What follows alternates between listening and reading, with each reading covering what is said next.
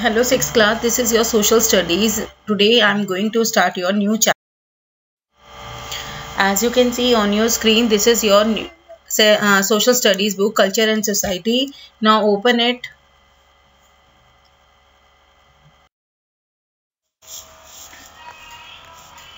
Like you can see on your screen, this is your chapter number six, towns, trade, traders and craftsmen. After the fall of the Guptas का जो fifteen five fifth century में क्या हो गया था? उनका fall हो गया था डिक्लाइन हो गया था।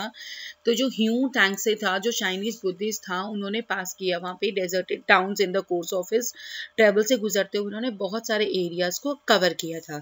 तो यहाँ पर इलेवन सेंचुरी जब आई, वहाँ तक आते आते एग्रीकल्चरल प्रोडक्शन जो था, वो स्टार्ट हो चुका था। बहुत ज़्यादा बर्थडे अपने अपने जिसमें जहाँ किसको इनकरेज किया गया टाउन्स में? राजगरीहा को, उज्जैन को एंड विशाली हमारे इंपॉर्टेंट टाउन्स थे, जिसमें इसको देखा गया। कन्नौज को बहुत ही फ़ेमस बनाया गया। एंड कैपिटल टाउन्स हमारी जब हमारे कब बना था?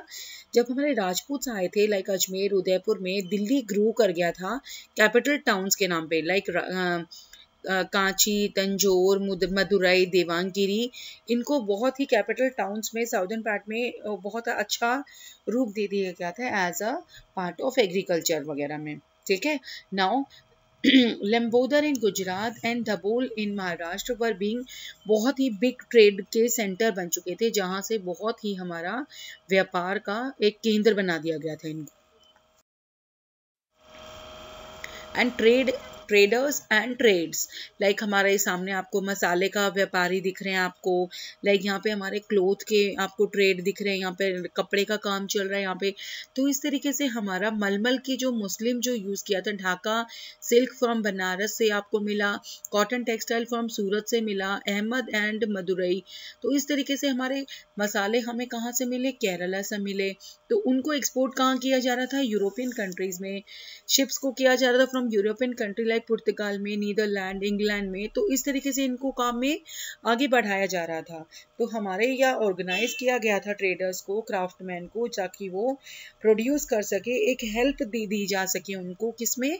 गुड क्वालिटी दी जा सके, ताकि वो फेस कर सके। कंपटीशन को सच गिल्ड्स जो हैं, वो हेल्प कर रही थी ऑर्गेनाइजिंग में, किसमें? Organising the sale and the production of goods को ईजीली ताकि मैनी फॉरेन जो ट्रैवलर्स थे लाइक हमारे sir Thomas Roe Hawkins Bernier तो इस तरीके से लोगों को जो है अपने आप के लिए, कहने के लिए लोगों के लिए बहुत ही मौका मिला ताकि उनको कैसे मशहूर और उनकी बातों को दूसरों तक कैसे पहुँचाया जा सके।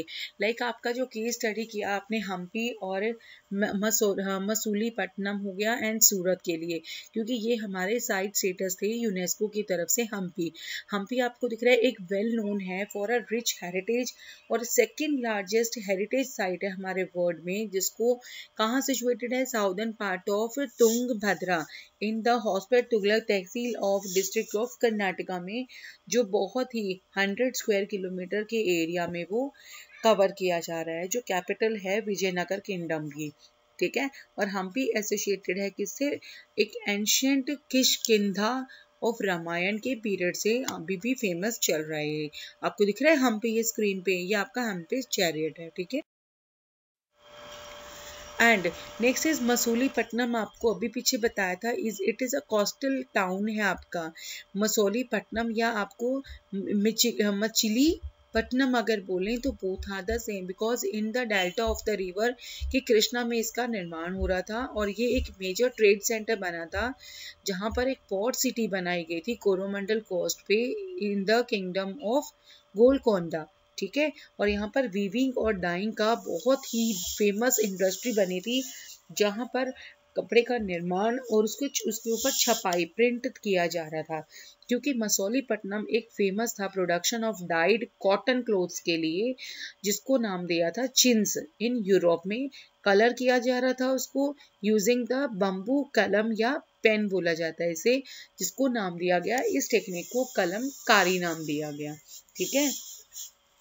और हमारा जो गोल्ड है, उसको इम्पोर्ट किया जा रहा था मसोलेपट्टनम में देन डिस्ट्रीब्यूटेड टू बाकी अदर रीजन्स के इंडिया के रीजन्स में उसको कैसे बंगाल हो गया। इंडिगो की वहाँ पे लार्ज अमाउंट ऑफ़ इंडिगो था, जिससे उसको नेचुरल डाई मिल रहा था कलर करने के लिए। लाइक हमारा सूरत है the port city of Surat is situated in the state of Gujarat में and it is an administrative headquarter था हमारे सूरत डिस्ट्रिक्ट का, जो फाउंडेड कहाँ, किससे? बाय अ हिंदू ब्राह्मण नेम गोपी इन 1516 एडी में, जो सिटी है हमारी वो अटैक की जाती थी बाय द मेरी मुस्लिम्स क्योंकि वहाँ से उनको क्या लेना था? ये कच्चा माल लेके और अपना रफू चक्कर हो जाते थे। अब वहाँ सफ़र कौन कर रहा था? ये सफ़र करने लग जाते थे वहाँ पे। और इसीलिए ये दस सिटी ग्रेजुअली डिक्लाइन हो गई थी ड्यूरिंग द एटीन सेंचुरी में। जो ब्रिटिश थे एंड डच थे, उन्होंने अपना क्लेम इनके ऊपर and the Portuguese were the first थे जिन्होंने अपना new port town in India में पनाजी इन गोवा में 1510 एडी में बॉम्बे में इतने में, इन सभी का आपको रिकॉर्ड सामने स्क्रीन पे दिख रहा है। इन्होंने इनका निर्माण किया था, बनाया इनको। Next one is your foreign trade foreign का मतलब हमारा विदेशी जो ट्रेड हुआ बिकॉज़ हमारे पास बहुत ही ज़्यादा ट्रेड था फॉरेन कंट्रीज़ से trade with the western countries like Malabar coast पे भी मैंने अभी आपको बताया था। एंड इंडिया एक्सपोर्ट करती थी, हमारे इम्पोर्ट भी हो रहे थे, और बहुत सारे articles Kabul Arabia dry fruits and precious stones कभी हम किसी को एक्सपोर्ट कर रहे हैं या कोई हमें इम्पोर्ट कर रहा है तो इस तरीके से हमारा जो है इनसे ट्रेड सेंटर्स का सेंटर धीरे धीरे बढ़ते जाने लगे थे। एंड खम्बत जो था ट्रेड वॉज़ टू एक्सटेंड पे था दैट थ्री थाउज़ेंड शिप जो थी विज़िट करती थी इस पोर्ट पे हर साल, जिसने एक आइडिया दिया था magnitude of India's foreign trade के लिए, ताकि हम ज़्यादा से ज़्यादा ट्रेड में अपने आप को बढ़ा सके। Like like Multani and Punjabi merchant जो थे, वो गवर्न करते थे एक बिज़नेस नॉर्थ में, जहाँ पर गुजरात और राजस्थान जो थे it was in the hands of the Bhats में, ताकि वहाँ पर फॉरेन के ट्रेडर्स थे फ्रॉम सेंट्रल एशिया जिनको खोरा सानिस बोला जाता था, जो इस प्रोफेशन में थ्रू आउट द इंडिया में इस काम को बहुत ही बढ़ावा दे रहे थे, जिन्होंने अपने अपने सेटअप कर लिए थे, ठीक है? ताकि हम दूसरों के ऊपर उनको डिपेंडेंट ना होना पड़े okay now you have to read the wrap ups आपको स्क्रीन पे दिख रहे हैं, ठीक है? आप इनको रीड करेंगे and these are very important points from this page, you have to complete your question number a b c d and e also is there okay and from this page you have to complete your HOTS question 1 and 2 okay class